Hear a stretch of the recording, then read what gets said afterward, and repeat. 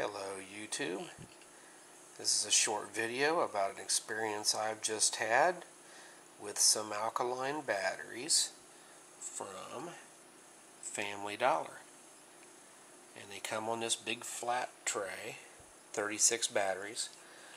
And I don't think you can see this on the battery, but the shelf life it says expires in 2021. So I've been using a lot of store brand alkaline batteries over the years and I've never had this particular problem happen. But I had these batteries in this 2 meter handheld ICOM T2H and they were very weak and it was just sitting there receiving. It couldn't transmit, it would just receive only because the batteries were so low and I forgot to shut it off. And I left it on went to work. And in the meantime, my wife heard some popping noises and thought it was an electrical problem and unplugged everything around my desk. Well, it turned out that these Family Dollar alkaline batteries exploded in this radio. They blew up and leaked all over.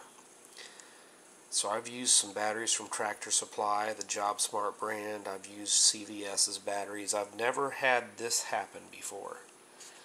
So it did make kind of a mess. The lucky thing is, is alkaline batteries are not nearly as corrosive as what the old uh, so-called heavy-duty uh, carbon zinc batteries are. Those batteries will damage your stuff. But this will clean up and uh, I'll get it all out of there, clean it all up, it'll be fine. But uh, it's just something I was going to put out there for uh, people to be aware of. And it's kind of a, get up there close to it, a yucky mess.